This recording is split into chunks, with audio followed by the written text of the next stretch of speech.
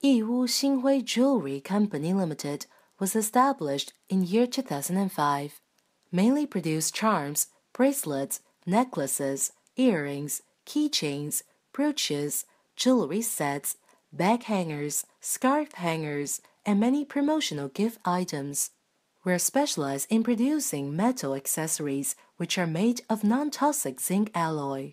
That means lead-free, nickel-free, and cadmium-free. We reached many harsh testing demands. The R&D department are composed of 7 designers, sales department has 19 international sales and 1 domestic sales who reply your inquiries, meet your demands, or something else.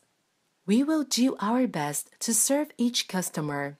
There are many cargoes are mainly exported to North America, Europe, we also have some steady customer come from other places such as Asia, Oceania, and Middle East. Our production team has experienced workers, which mean 30% of employees have over 5 years professional production experience. They can achieve the production duties better. We also have been pushing the corporate cultural building and R&D team growth for a long time. Effectively in designing and development, we use the industry advanced production equipment, currently has four lines and a range of professional supporting facilities. Our company got the social audit report. Free samples are available for some potential customers.